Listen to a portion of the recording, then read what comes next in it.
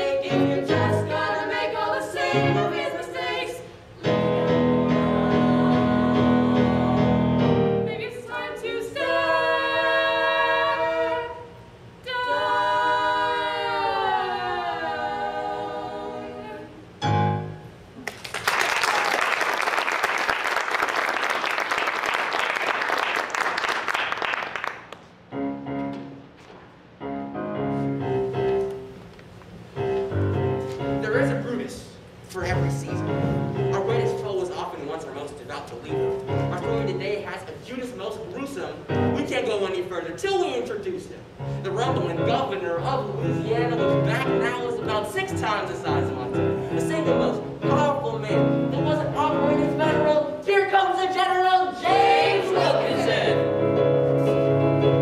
I got a big commanding voice to make you shiver. I got a brandy and an order to deliver. I'm out in Louisiana come in a band of scamps, so scram, or I might have you for dinner. Can I be real a second? I just peed. I've never been a but I'm good with politics. I've learned to play cards and win with colonists. My conflict into subpart, the colonists, they rewarded anybody who had more smarts than a solid brick. I play my interests, which just happen to be alcohol and gold. I'm often told that I'm dangerous and uncontrolled. Is it my fault that I turned out to be two-faced? Why are you startled? I served with Benedict freaking Arnold. So when that sexy hunk of meat Aaron Burr came to my door with my swore, a traitor's own I swore, I swore I would lend my force his cause, or seat next to his throne and a banquet in my jaw. General Wilkinson, Aaron Burr, get over here with your gorgeous eyelashes, sir. you've been receiving my letters. I'm Captain Close. So let's get down to business. What's this plan you'd like to propose? I think the West is at its breaking point and ready to secede. I want to give them whatever they need to make that push so they can go out on their own. And when it's said and done, I want to give myself the throne. People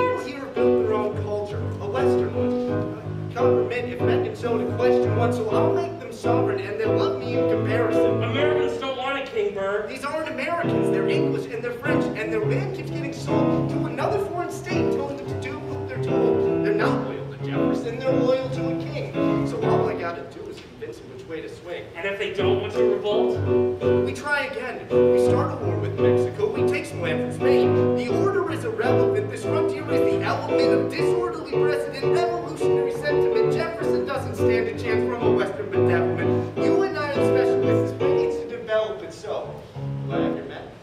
my life. You got me this position, Burr. You led me to my wife. For you, Aaron Burr, and your lovely chiseled jaw, I'll help you play your country. Heck, I'll help you write the law. He's got a big commanding voice to make you shiver. He's got a brandy and an order to deliver. Got an obsession with deception, so messing with secession and insurrection to me, it seems beginner. Well, then it's settled. I'll send forward for you in a few months' time. a few months' time. Even while splitting the union into two states, even while wanting on homicide in two states, Aaron Burr is still the vice president. He carries out his final tenure as VP. And it drags out if he did a bad job or not, because actually, he led the Senate partially and orderly and factually as the VP. He met every challenge that he faced, from partisan infighting to the trial of Samuel Chase. For many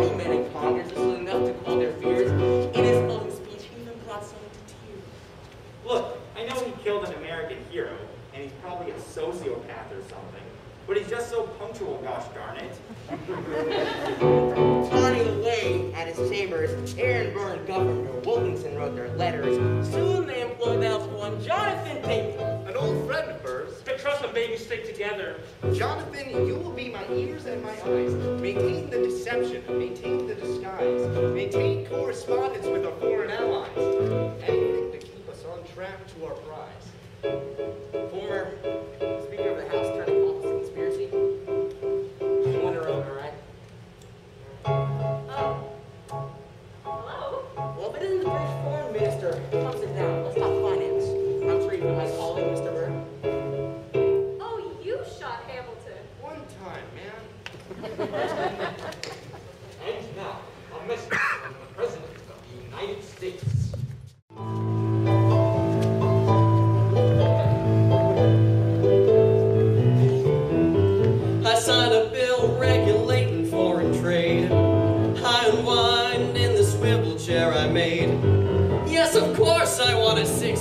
slave. Right now I only have 599. That's not odd number. And as I smell that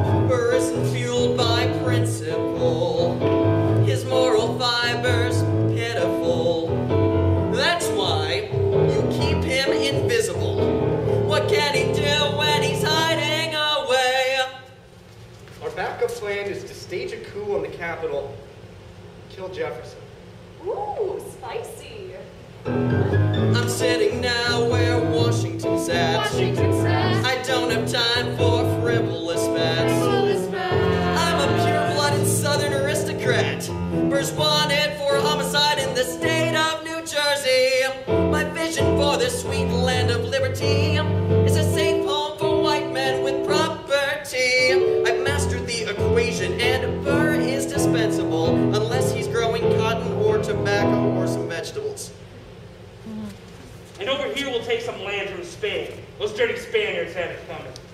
One moment, please. Ah, why hello there, Spanish minister. Have you met Aaron Burr?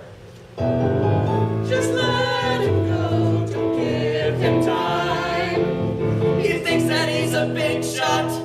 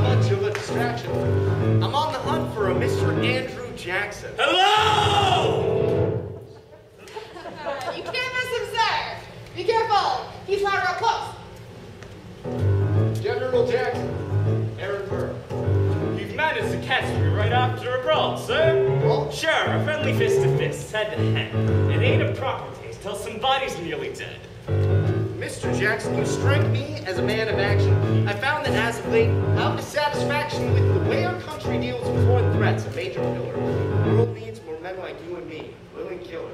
Preaching to the choir, Mr. Vice President. I tried to stoke the flame myself, or never went anywhere. Jefferson always met it screw. Perhaps what you need is the right opportunity. We're on the street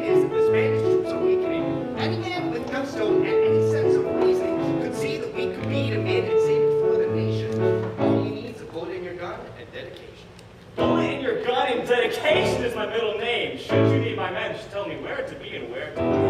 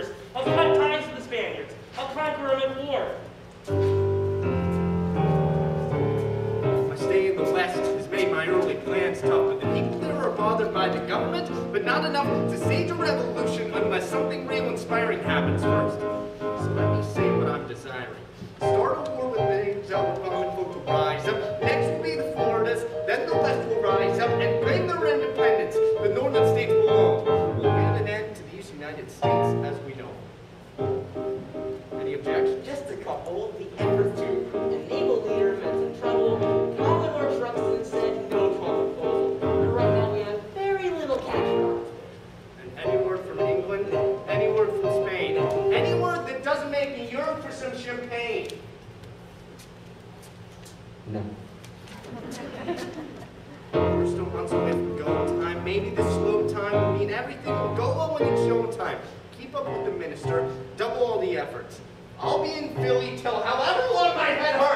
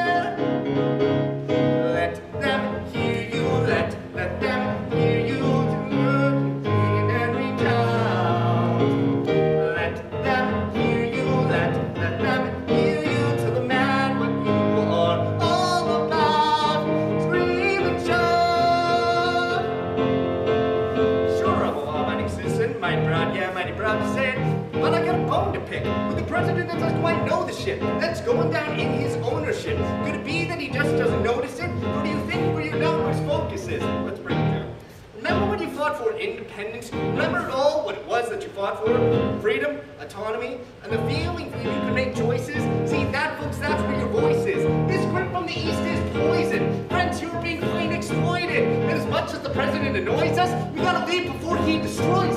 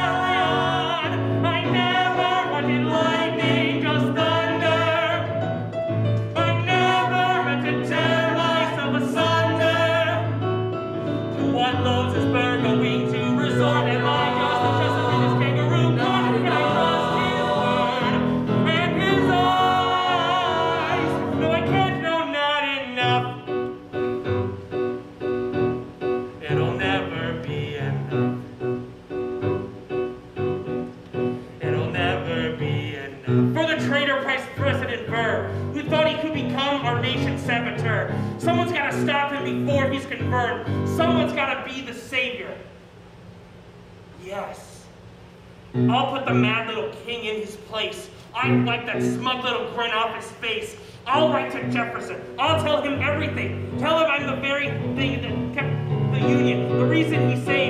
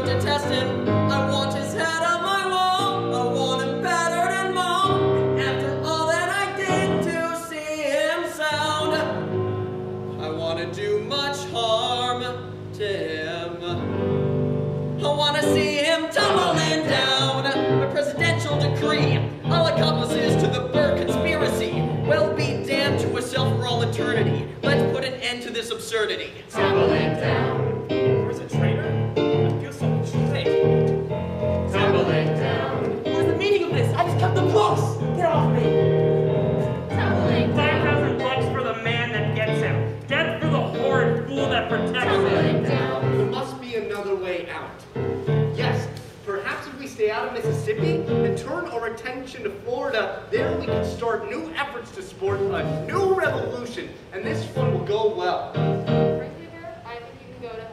When Burr arrives in Mississippi, he's arrested on sight. In court, they decide to send him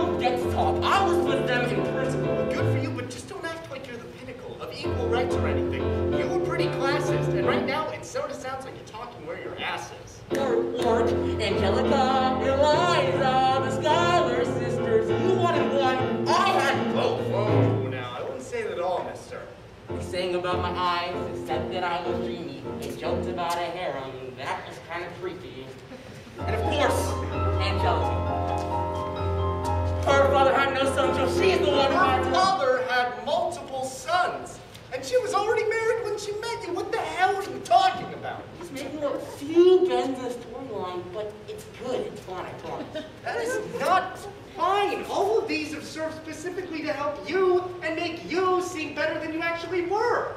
Not true! I was chosen for the Constitutional Convention. I wanted to propose my own form of government. What? My own plan for a new form of government. I talked for six hours. The convention was Your listless. new form of government was a monarchy. See, this is exactly what I'm talking about, a villain in my history, Would you quit it with that? and that's what you're meant to be. And maybe if you listened to me when I asked you to write on the Federalist Papers, You never did that. Okay, but if I did, it sounds really cool. Don't you understand how these lies of yours are dangerous? Can't you say that when you take the real events away from us, the people who don't know you start to take your word as fact? Shut up, when you're blabbering, there's more to. Felt like all I did, I was a greater man than you. I'm getting good at pissing you off, Burr. Now that is true. And then there was the election of 1800. Okay? Now stop me if you've heard this one. Okay. Every action has its equal opposite reaction. John Adams the benzo. I had to command my faction. When he and Jefferson were tied, I showed dissatisfaction. I paid the votes to give him a landslide and you a fraction. In a fit of rage, you had enough, and so you took your action. You found prevention and loaded gun. Great exception. A lovely story with some obvious and true reactions. Now, if you're quite done, let me reiterate what really happened. I ran as Jefferson's vice president in our system. Each of the electors gets a vote twice, so in the wisdom, cast a vote for Jefferson and cast a vote for me. So Federalists decided to make chaos, so you see. To break the tie, they brought it to the House, and you put your name for Jefferson. But none of the savvy politicians came for your word after you would sell it by printing out the Reynolds man thinking you're the second Hamlet or some shit. And no, I didn't do you because you dissed me in the papers and those four goddamn years after the tiebreakers. Now making it your story, you egocentric ass have taken class act and shove it your backs ass. Uh, Mr. Burke, you've been yelling at that wall for five minutes.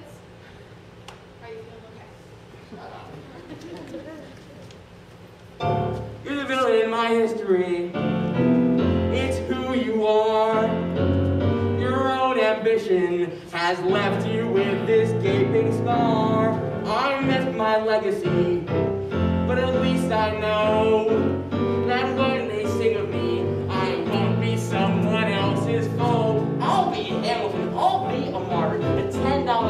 and following our Father, who in the harbor of New York as a starter and departed in harbor for the first time of Larkin.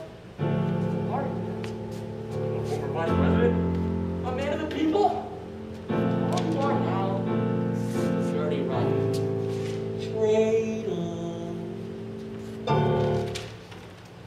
Is what you wanted? Are you satisfied? legacy you had and tossed it all aside.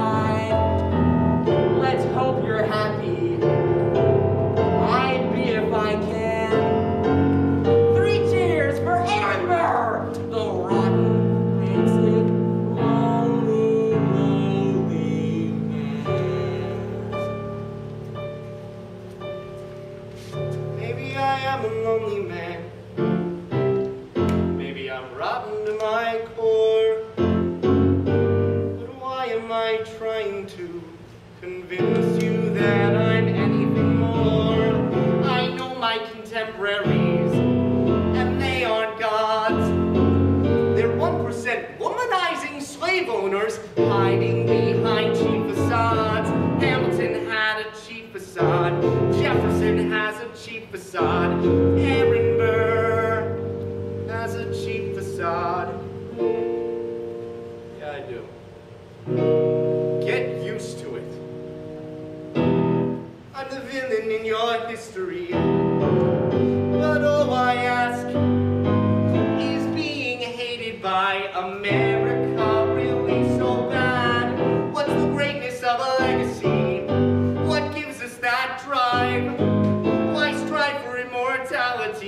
you.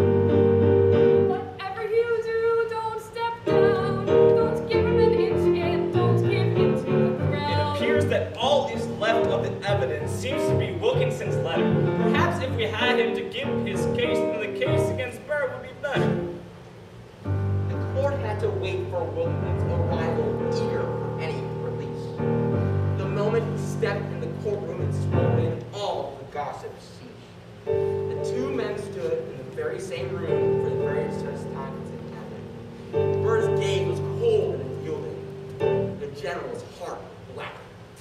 Please state your name and purpose for the court. James Wilkinson, Hardy Pooper. Aaron Burr is a traitor, and I have the evidence to prove it here in my hand. It's a letter Mr. Burr wrote to uh, someone, speaking of a troop he commands. He would start a coup in Mexico, tear the United States in two, and create his own land. How'd you acquire this letter? Uh, found it? Listen to this man. Test the governor's handwriting, and you may see he has written it himself. Well, yeah, because this is a copy. Duh. And why not just bring the original? Hmm? Could it be you don't want us to see that it doesn't just implicate me? Could the governor of Louisiana be man in command of scamps that partake in treachery? Not true. And even if we were, nothing in the letter is a blatant confession. There's a lot against Spain, but certainly nothing for blatant secession. The trend as the trial carried on. All of the valid discussion was gone, and over the sweet Virginian silt, he had no choice but to declare her not guilty. Wilkinson is removed as the territory governor. He is condemned and disbarred. He fights in the War of 1812. He is promptly discharged. He retreats to Mexico until he finally gets reunited with the stars. In a last-ditch hope for salvation, he writes his final memoirs. Interviewing my past life, there does not appear to be anything for remorse, but little for repentance though certainly very much for regret. My transgressions against the laws of my Creator have not been too, have been too many, but they have been venial, and I trust have found their remission in a contrite heart. It'll never be enough.